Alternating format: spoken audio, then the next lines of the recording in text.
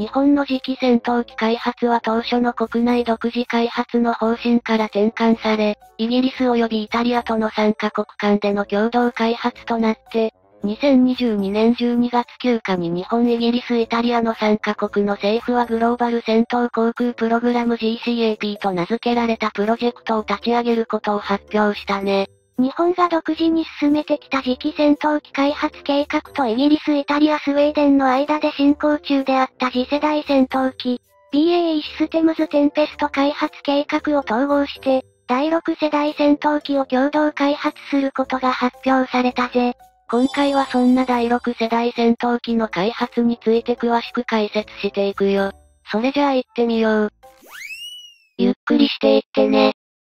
2023年12月14日には、東京で日本、イギリス、イタリア3カ国の防衛省による会合が開催され、その席上において木原稔防衛大臣がイギリスのグラント・シャップス国防大臣、イタリアのグイード・クロセット国防大臣と共に、GCAP の進捗管理を目的とする国際機関としてグローバル戦闘航空プログラム政府間機関 GIGO が設立されることを明らかにして、その設立のための条約として、GCAP の設立に関する条約にそれぞれが署名して、条約が締結されたことを発表し、次期戦闘機 GCAP の3カ国共同開発プロジェクトが動き出したよ。GCAP に参画する日本企業は、次期戦闘機開発計画において契約士官であった三菱重工が新たに主契約者となって、機体を担当することになったほか、国産のハイパワーエンジン XF9 を開発した IHI がエンジンを担当し、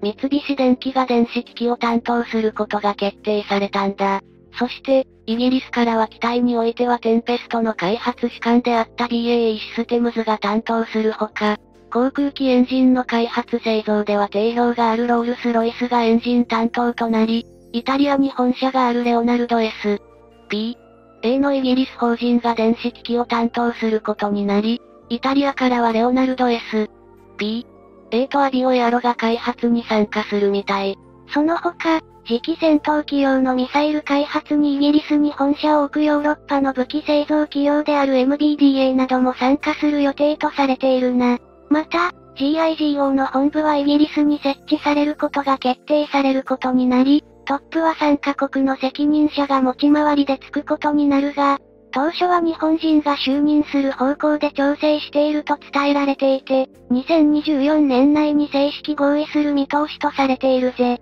3カ国の政府及び開発に参画している各国企業間においては毎日のようにビデオ会議が実施されているとされ、そのことによって日を追うごとにチームの一体感は高まっていることなどが関係者の談話として伝わっていて、これまでのところ GCAP は順調に推移しているものと見られていたんだ。しかし、2024年7月4日に実施されたイギリス下院議会の総選挙において、政権与党であった保守党が大敗して、労働党のスターマー政権が発足したことで、GCAP の推進に影が差し始めたとする見方が広がっているよ。スターマー政権の関係者が、国防政策の見直しに取り組むことになるとして、GCAP 共同開発における開発費の見通しが立たないことを理由に、場合によっては GCAP 計画の遅延化、最悪の場合には撤退もあり得ると語っていることをイギリスのザ・タイムズなどのメディアが報じたためだね。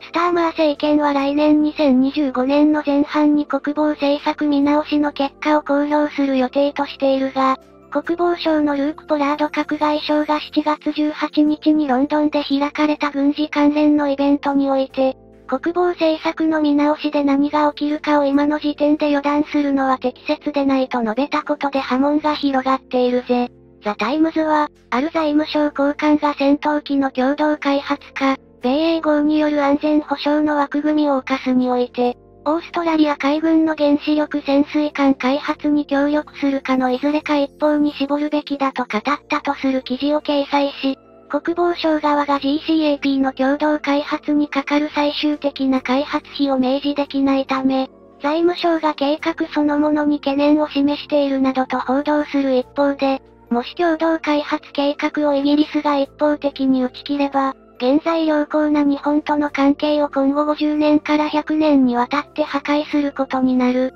として良好な日本との関係性の悪化を懸念する防衛アナリストのコメントも伝えているらしい。また、2022年2月に始まったロシアによるウクライナ侵攻を受けて、ロシアの力による現状変更がさらに拡大することを懸念する。欧州各国が軍備の増強に動き出した状況下において、拡大しつつある国防予算を2035年に配備される予定の GCAP に注ぎ込むのではなく、ロシアを牽制するために現状における軍事力強化に充てるべきとする軍事専門家は決して少なくないな。もしスターマー政権が GCAP 開発の規模縮小や、最悪の場合として離脱して中止となるような事態となれば、日本とイタリアだけで開発を進めることは不可能に近くなり、日本は再び単独での次期戦闘機開発に戻ることになるが、その場合はこれまで費やした費用以上に大きなコストがかかる可能性が高いと見られているわけだ。そのような状況の中、イングランド南部のハンプシャー州にあるファーンボロー空港において7月22日から26日にかけて、ファーンボロー国際航空ショー開催され、BAE システムズの展示ブースにおいて GCAP の新しいコンセプトモデルが登場して話題を集めたよ。BAE システムズによるフルスケールの GCAP コンセプトモデルは、これまで三菱重工業が発表していた次期戦闘機や、BAE システムズのテンペストとして発表していたコンセプトモデルと比べて、特に主翼が三角形のデルタ翼となって幅が広くなっているなど、より進化したデザインとなったんだ。この変化についてはメディアや軍事専門家からは、将来においては戦闘機同士による近接して短距離空対空ミサイルや、機銃を撃ち合うような空中戦ドッグファイトは起こらなくなると見られていることから、今後は空中戦で重視される機体の機動性能よりも、翼を広くすることで内部の燃料タンクを大型化させ搭載燃料の量を増やして航続距離を稼ぐ方針に転換されたとの見方が出ているね。また空気抵抗をより低減するデザインとすることや、さらには主翼が大きくなることで揚力が増し、そのことによってミサイルなどのペイロードを増強させる狙いがあるのではないかとも報じているんだけど、これは日本の航空自衛隊においては GCAP が対地攻撃性能を重視している F2 戦闘機の後継機種であることと、イギリスにおいてもやはり対地攻撃重視のユーロファイタータイフーンの後継と考えていることによって、互いの要求が一致しているためであろうとの指摘があるみたい。そして、今回のファーンボロー国際航空ショーには労働党のスターマー新首相が現れ、GCAP について我々は大きな進歩を遂げているとその進捗について述べた上で、開発継続の重要性を強調したことから、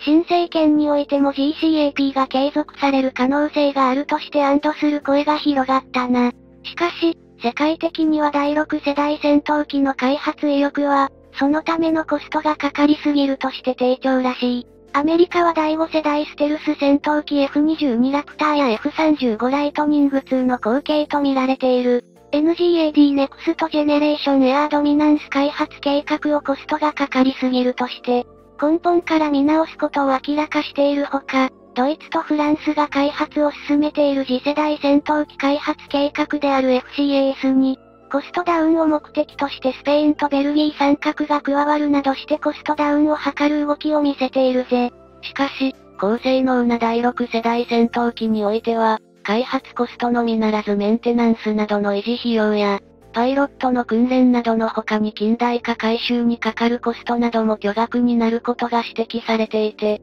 GCAP も NGAD や FCAS と同様に開発の見直しや滞りが発生する可能性は否定できず、その場合には政府と防衛省は日本の国防に関して再検討を余儀なくされるのではないかとの見方が広がっているね。それじゃあ今回はこの辺で、よかったら、チャンネル登録してね。